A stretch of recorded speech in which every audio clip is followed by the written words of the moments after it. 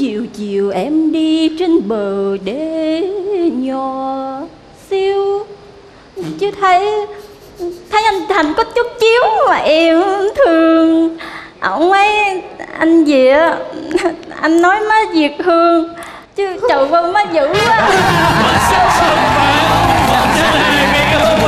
Làm cho tất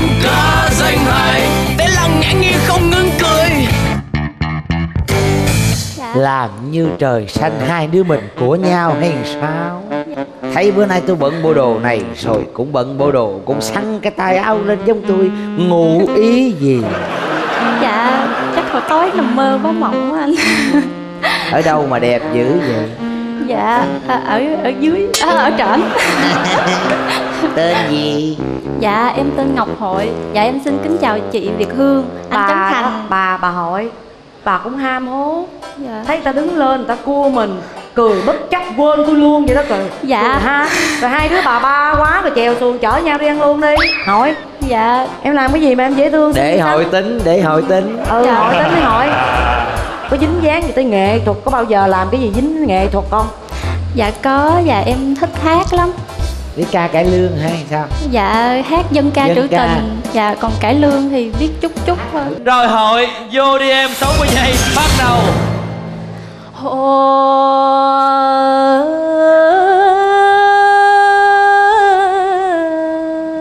Chứ chiều chiều em đi trên bờ đê nhỏ xíu. Chứ thấy Thấy anh Thành có chút chiếu mà em thương Ông ấy Anh gì á? Anh nói má Việt Hương Chứ trời ơi má dữ quá. Cảm ơn Quỳnh Tiến Lên đã đỡ nụ cười Và bạn nhận được 2 triệu lại một lần nữa học tài thi phận rất là may mắn cho em. Vì hồi nãy chị vô tình chị ghẹo em cho em vui vẻ chị nó ham lắm mê trai này nọ rồi chị qua chị phàn thành. Thì thằng thành đó nói chào bọn hai đồng đi em cái chị nghĩ bụng chứ. Cái thứ gì á có vậy là hai đứa là hai đứa tiến tới hôn nhân mà chị là má.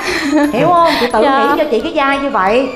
Thì vô tình em hát cái câu này nó lại liên quan tới kêu chị là má luôn. Tự nhiên chị cảm thấy cuộc đời của chị nó nâng lên bàn thờ hết sức vậy đó hả? Dạ. Dễ thương mà nói nghe nè Ngọt quá à, Giọng ngọt quá à. Đẹp giọng đẹp. Đi hát là đúng Đúng nghề luôn. Hát hay, Có tình cảm Và quan trọng Lừa được người ta. Tại vì bạn tập trung vô một trăm phần trăm, ta nghe bạn hát. Tôi thấy bạn hò, tôi nói tôi chết rồi. Bà hò, Ta có sáu mà giây, bà hò chắc hết nửa nửa phút. Chậm chậm quá, nhưng mà trên bờ đê nhỏ. Xíu xíu cái làm cái ông mc kêu làm cái phục là tôi đã muốn xỉu rồi tôi đang gồng tay lại. Qua cái má việt hương là mà má tôi bơ xì luôn. Rồi. Nói nghe nè hỏi bây giờ vậy nè. À, đang rất là thích em rất là đẹp đẽ rất là chỉnh chu rất là sang trọng. Để làm ra một cái tiết mục nhẹ nhàng như cung đàn không có cần gì phải dữ dội lên gân lên cốt á. Hai triệu. Suy nghĩ coi có nên lấy 10 triệu không? Thấy được được cái nha. Hội ơi ý của em như thế nào Em tiếp hay là 2 triệu? Phải tiếp chứ. Mới tới đâu có làm gì đâu. Dạ thôi chị ờ, Em tiếp câu chuyện này luôn. Rồi thi tiếp. Và 60 giây cho hội. Bắt đầu. Má Xin má cho con và anh Thành được toại nguyện. Ông bà mình có câu Hãy một ngày làm mẹ Thì cả đời làm má Hệ nhất bái thiên địa Nhị bái cao đường Phu thê giao bay Hội ơi Albany Bắc Mê Hồng Kông Hợp tác cùng Văn phim Việt Nam Phát hành bộ phim Mỹ Thiên Đồ Long Kỳ.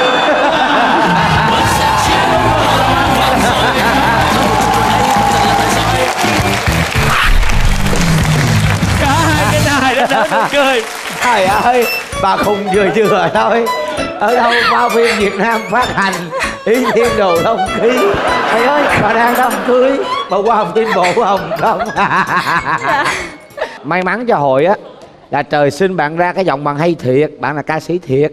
Nên á, khi bạn hát ta tập trung vô nghe câu chuyện bạn lắm. Bạn có đi cao bao giờ không? Dạ có em thích ca lắm. Ừ hay ca hay đúng lựa đúng nghề mà. Hài duyên luôn cái mặt mười có duyên. mười triệu rồi.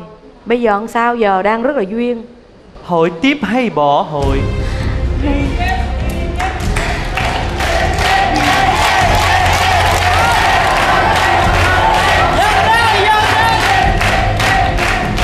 Dạ. Ừm, Em nghĩ là ngày hôm nay em được đứng trước chị Việt Hương Trước anh Trấn Thành. Anh ờ, Kiến Huy với tất cả quý vị ở đây là em nghĩ nó rất là hạnh phúc Và em vào được tới đây là em thấy tuyệt vời lắm rồi. Thì ờ, cái giọng tiếp theo Em nghĩ là em xin dùng một phút của mình để hát Thì ờ, trong đây thì em nghĩ là sẽ không thể tạo tới tiếng cười cho quý vị được nữa Nhưng mà em em sẵn sàng Em muốn em rất là muốn hát để ừm, cho ba má được vậy thôi ta dừng lại ta lấy 10 triệu hát tặng anh chị thôi dạ nếu vậy là hạnh phúc ờ chứ bà tự nhiên bà đầu hát chi là bà xài 10 triệu Dạ. hát rồi. bài lãng Dạ. không và bây giờ em quyết định là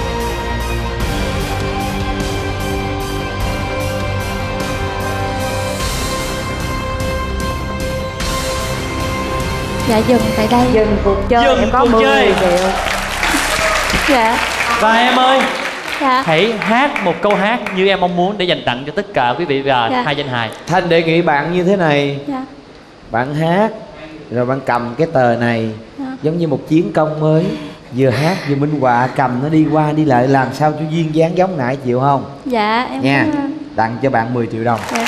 Dạ em xin được phép gửi đến quý vị ca khúc nếu anh đừng hẹn một sáng tác của nhạc sĩ lê vinh và dạ cầm. Ừ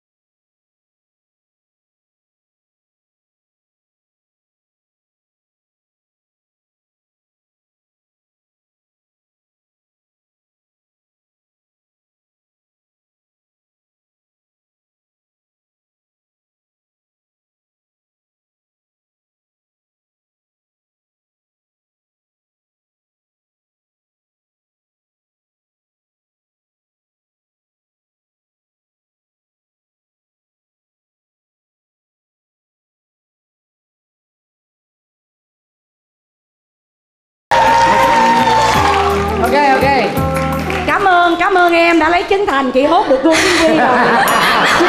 Em ơi dạ. em hát hay lắm. Đó em thấy không? Cái đoạn cuối tự nhiên còn gì cho nhau cho 10 triệu lên. Dễ thương. Mà em không? Em lựa rất là đúng cái thời điểm để em khoe cái tờ này. Trời ơi hồi nãy mà.